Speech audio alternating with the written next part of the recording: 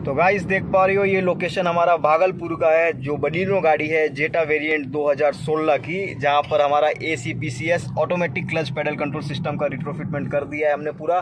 गाड़ी पूरी ऑटोमेटिक हो चुकी है ब्रेक एक्सेलरेटर के द्वारा। मनीष जी की गाड़ी है, जो इस गाड़ी को ओनर है। तो इनसे ही आप खुद ही जान लीजिए कि ये गाड़ी किस हिसाब से वर्क कर रही है एएमटी सिस्टम में। Hello friends welcome to my channel और आप जैसा कि देख रहे हैं, मेरी कार है। ये 2016 मॉडल की कार है और मैं इसे तकरीबन छः साल लगभग चला चुका हूँ 2016 से अभी तक में। और ये कार चलाने में मुझे काफ़ी तकलीफ़ होती थी क्योंकि ये मैनुअल कार थी और इसे मैंने ऑटो क्लच करवाया है, जिसका पूरा प्रोसेस आप देख पाएँगे। ये देखिए विकास जी आ गए हैं, मुंबई से आए हैं। मुंबई से हम छत्तीसगढ़ के निवासी हैं लेकिन मुंबई में एक फिटमेंट करके अभी आ रहे हैं डायरेक्ट अच्छा मुंबई से आ रहे हैं भागलपुर आए हैं हम्म। और जा रहे हैं कहाँ पे? गुवाहाटी जा रहे हैं। अभी गुवाहाटी जाएँगे। और ये पूरा इंडिया में अभी इन्होंने मुझे दिखाया है लगभग सारे इंडिया का ये फिटिंग कर मेरा आवाज़ आज ख़राब है मेरे व्यूअर्स तो इसलिए मैं ज़्यादा बोल नहीं पाऊँगा। ये देखिए इन्होंने काम चालू कर दिया है। हमारे यहाँ पर सेवरल डीलर्स हैं पूरे इंडिया भर में और हम सिटी क्लच का ज़्यादा डीलरशिप किसको देते नहीं। और हमारे सिटी क्लच के मुख्य काम जो हम करते हैं, वो हमारे खुद के ही अंडर में हम ओवरटेक करके करते हैं। मतलब आपके पास जो भी बंदा आएगा, वो well educated well train and well mannered ही रहेगा। तो आपको उसमें निश्चिंत रहना पड़ेगा कि आपका काम किस हिसाब से होगा। आप कहीं पर भी होम फिटिंग के लिए बुलाएँगे, आपके पास एक वेल पर्सन टेक्निकल पर्सन जो कि हर चीज़ के बारे में ब्रीफिंग से आपको एक्सप्लेन भी करेगा और आपको बताएगा भी कि वो चीज़ को फिटमेंट किस हिसाब से कर रहा है सेटिंग क्या कर रहा है, किस हिसाब से कर रहा है। तो वीडियो पे बने रहिए, पूरे डिटेल के बारे में जानकारी आपको इसमें सब देंगे हम। अच्छा ये ही मेन कॉन्टेक्ट नंबर जो है, इन्हीं का ही रहता है। यही मुझसे कॉन्टेक्ट थे, शुरू से टच में थे और यही यहाँ पर आखिर में मेरे पास आए। जिस दिन का डेट बताया था उसी दिन आए ट्रेन में मुंबई से आए भागलपुर बिहार में। और इन, इनका जानकारी इतना सौ किलोमीटर का सफ़र करके डायरेक्ट आज ही मैं पहुँचा हूँ भागलपुर। और भैया से हमारी भेंट हुई है। भैया का एक टाइप से बोल सकते हो अच्छा किस्मत होगा लक होगा कि वाया शेड्यूल पे मेरा ही मैंने लगाया तो मेरा यहाँ पर खुद का ही विज़िट अच्छा मेरा क्वेश्चन का जवाब आप फिर भी नहीं दिए। जो डीबी मोटर्स जो डीबी मोटर्स जो टेक्नोलॉजी यूज़ करता है वो वही आप यूज़ करते हैं? ये हमारा किट ही सेम है। किट सेम टू सेम है? सेम टू सेम किट है। हमारा किट अच्छा। का ही वो अलग अलग वेरिएबल्स डीलर्स बने हुए हैं जहाँ पे। वो हमारे एक डीलर होंगे। वो भी आपके एक डीलर है। चलिए शुक्रिया शुक्रिया। ये देखिए इन्होंने मेरे गाड़ी को खोल दिया है पूरी तरह से।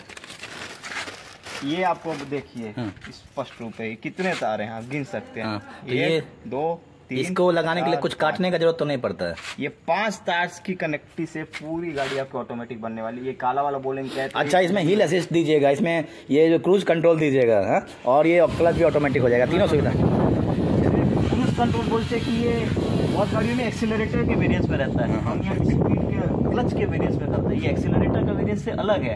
लेकिन क्रूज कंट्रोलर सिस्टम का ही टेक्नोलॉजी है जो क्लच की वेरिएबल स्पीड को लॉक करता है। अच्छा तो अच्छा। उसको हम क्रूज कंट्रोल ही बोलते हैं।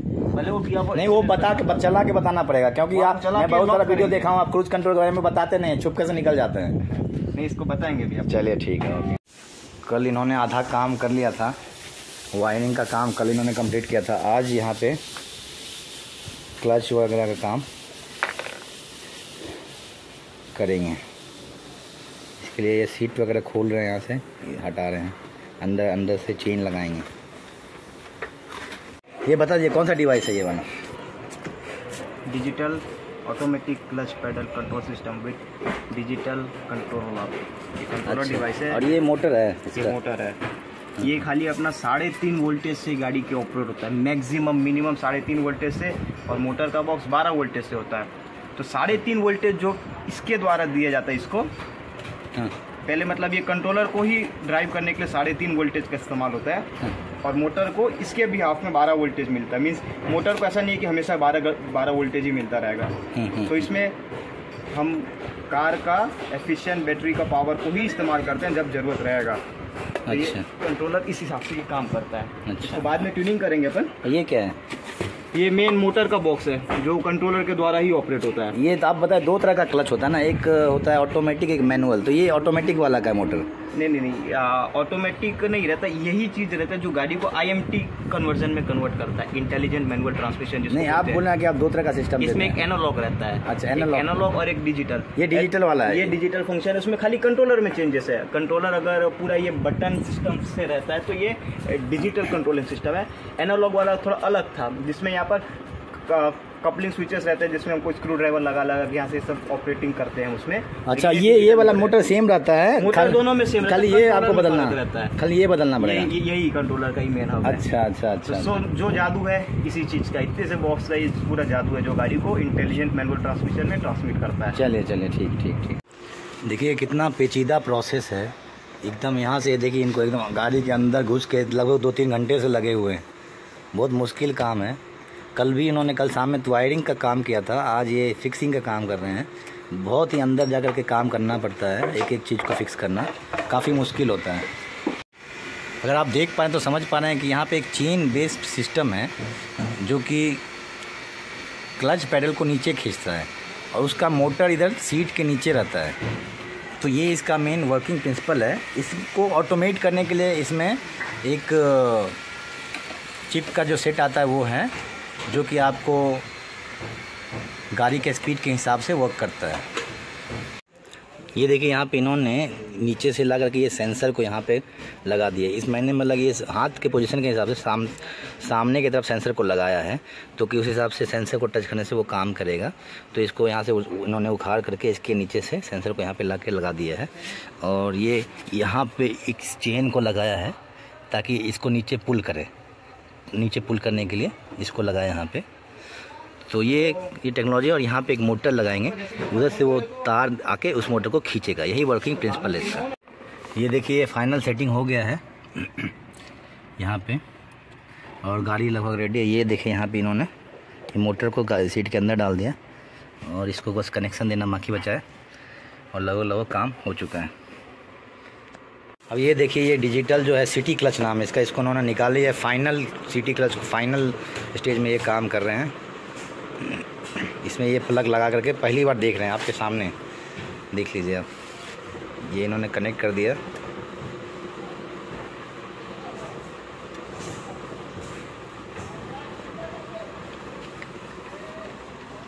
देखिए कनेक्शन हो गया। ये आपके सामने पहली बार कनेक्शन हुआ है। चेक कर रहे हैं अभी। वंस ये वेरीफाई हो जाएगा, उसके बाद।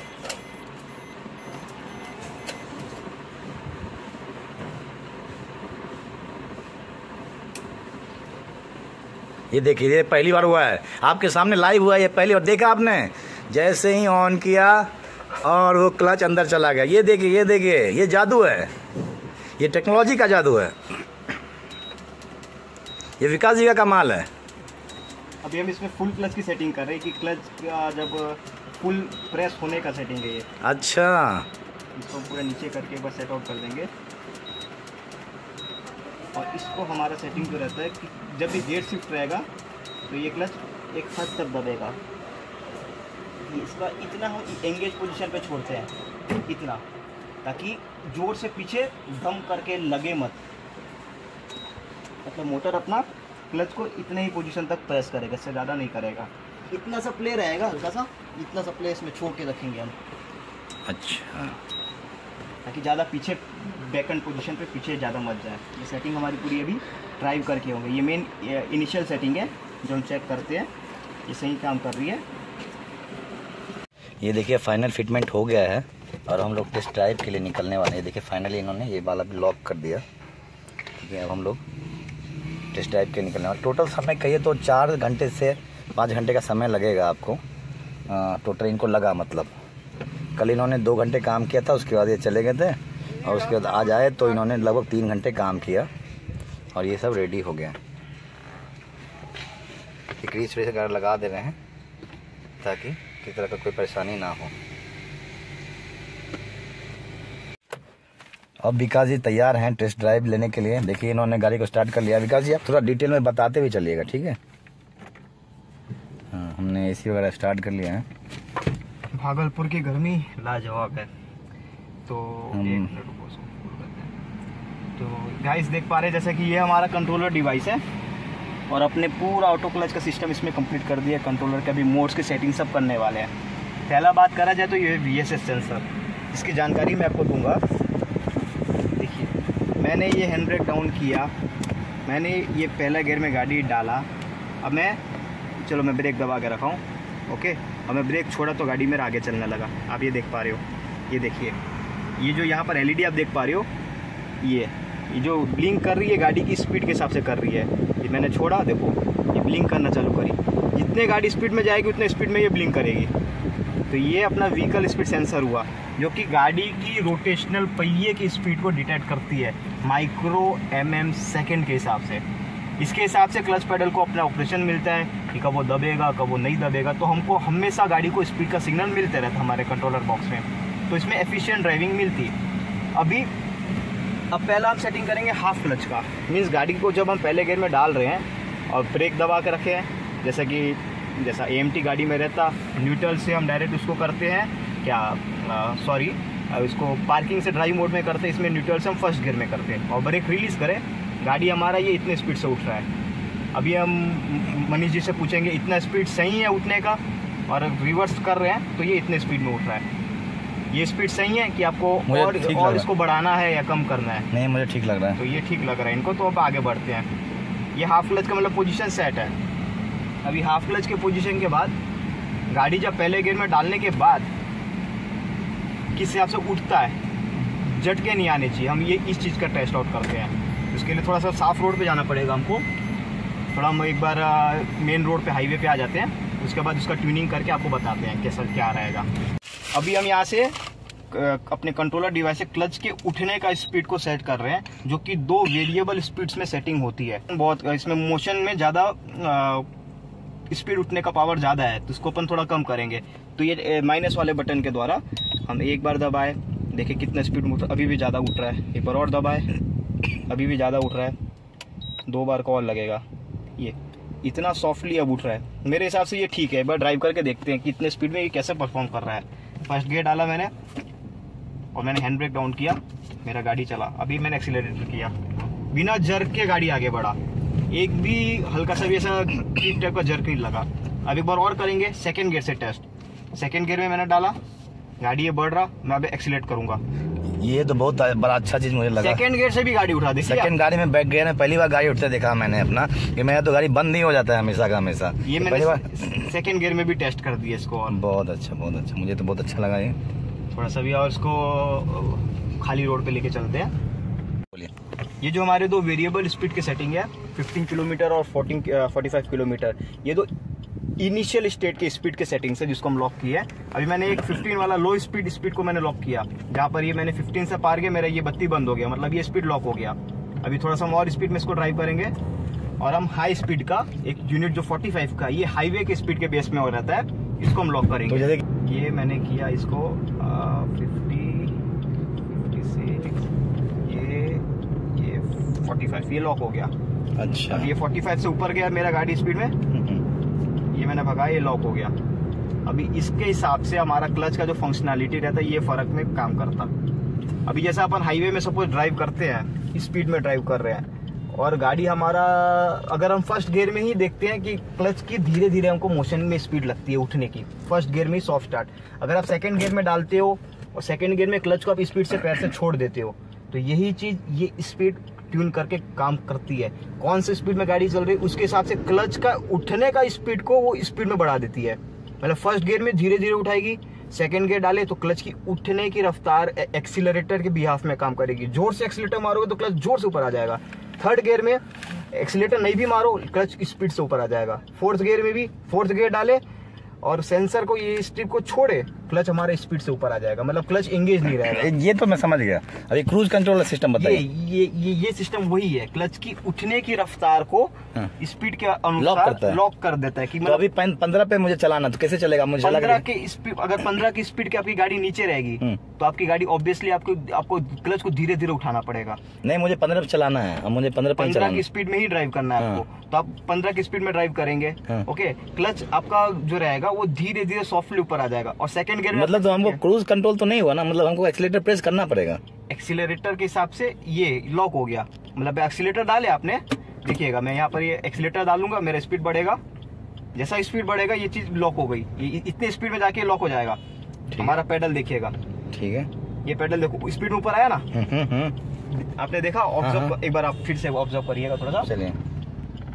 अभी देखिएगा। ये अपना 15 हुआ अभी पेडल का पोजीशन देखिए। अभी धीरे धीरे उठ रहा है। हम्म, अभी मेरा ये 15 में स्पीड आया। हम्म, ये देखो स्पीड ऊपर आ गया पेडल। हम्म। ये चीज़ है।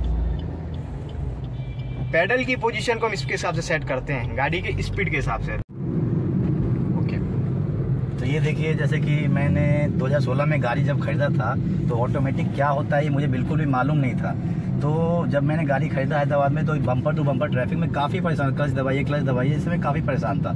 कुछ सालों से मैं ऑटोमेटिक गाड़ी यूज़ कर रहा हूँ इंडिया से बाहर तो मुझे काफ़ी आसान लगा ऑटोमेटिक गाड़ी चलाना। तो अब जब मैं यहाँ आया तो मैंने इसे ऑटो क्लच करा लिया। अब मेरे देखिए, सामने ऑटो चल रहा है। गाड़ी हमेशा बंद हो जाती थी। अभी एक नंबर पे चलाइए दो नंबर पे चलाइए गाड़ी बंद ही नहीं होगी आपकी। अभी देखिए, एक नंबर पे चल रहा है, छोड़ दिया हल्का। ब्रेक छोड़ दिया एक्सीटर छोड़ दिया, हमेशा बंद हो जाती थी मेरी गाड़ी। लेकिन अब बिल्कुल आसानी से गाड़ी चलते चले जा रही है। पिछले आधे घंटे से मैं चला रहा हूँ, गाड़ी बंद नहीं हुई है, बिल्कुल भी। वो तो समस्या ही खत्म हो गई और ईज ऑफ़ ड्राइविंग गाड़ी चलाना इतना आसान हो गया ना इज़ लाइक केक वॉक अब देखिए, जैसे मैंने दो नंबर चेंज किया स्मूथली चेंज हो गया। तीन नंबर, चार नंबर, पाँच नंबर पे चलाइए। कुछ भी दिक्कत नहीं होता है। ये जो ऑटो क्लच का सिस्टम है, मैं इसको, मैं बताना चाहूँगा कि किसी भी आदमी को ज़रूर लगा लेना चाहिए। मेरा जो लाइफ बिल्कुल बदल गया पिछले आधे घंटे से। ये गाड़ी जिसे मैं बेच देना चाहता था, अब ये गाड़ी तो मैं कभी बेचूँगा ही नहीं। ये देखिए, सामने से गाड़ी आ रही है, नहीं आ रही है, मुझे उससे कोई लेना नहीं है। अब मैं बहुत आसानी से ऑटोमेटिक गाड़ी के जैसे चला रहा हूँ। ये देखिए। ये सब रोड पे गाड़ी चलाने में मेरी साँसें फूल जाती थी। ये देखिए कितनी आसानी से मैं ड्राइव कर पा रहा हूँ। तीन नंबर पे चला दिया चाहूँ तो चार नंबर बदलना। तो गाइस देख पा रही हो एक फिटमेंट लोकेशन पे पहुँच चुका हूँ जो कि भागलपुर बिहार का लोकेशन है। गाड़ी भले आपको ये हैदराबाद लोकेशन की दिख रही है जहाँ पर कंप्लीट मनीष जी खुद यहाँ खड़े हैं जो गाड़ी के ओनर है। भागलपुर का भागलपुर का लोकेशन लोकेशन है वास्तु विहार का। और मैंने इसे करा लिया है ऑटोमेटेड करा लिया है क्लच को, और मैं इतना खुश हूँ, मैं बता नहीं सकता हूँ। पिछले छः साल से मैं इसे झेल रहा था, पहली बार चलाया है रोड पे।